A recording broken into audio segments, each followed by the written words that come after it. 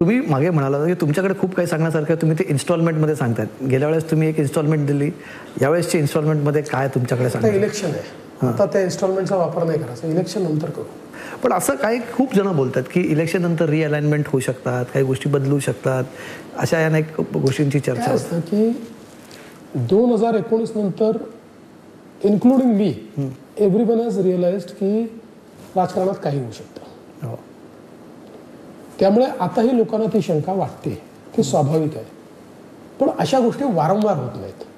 आणि जसं मी सांगितलं की डिसायसिव्ह मॅन्डेट येणार त्यामुळे या गोष्टी मला वाटत नाही होत्या तुम्ही आता जो विषय मांडला ना म्हणजे एकोणीसला बदल झाले अलायन्स पार्टनर्स बदलले गेले ह्या सगळ्या गोष्टींमध्ये असं वाटतं तुम्हाला की दोन हजार एकोणीस आपण तीन तीन या टर्ममध्ये तीन मुख्यमंत्री बघितले तुम्ही दोन दिवसांसाठी तो शपथविधी झाला. अजित पवार परत गेले मग उद्धव ठाकरे झाले मग शिंदे झाले.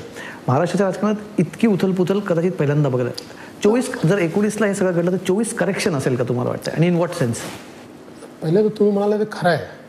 हे महाराष्ट्राच्या इतिहासामध्ये एक व्यक्ती एकाच टर्ममध्ये मुख्यमंत्री विरोधी पक्षनेता आणि उपमुख्यमंत्री असं मी झालो. त्यामुळे हे कधी झालंच नव्हतं. पण हे निश्चित कोर्स करेक्शन चाललेलं आहे. आणि ज्या अलाइनमेंट्स आहेत त्या आता बॅटल लाईन ड्रॉ झालेल्या आहेत.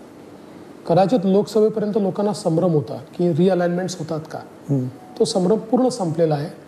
आणि त्याच्यावर ज्याला लास्ट नेल इन कॉफिन म्हणतो ते या निवडणुकीचे निकाल असतील.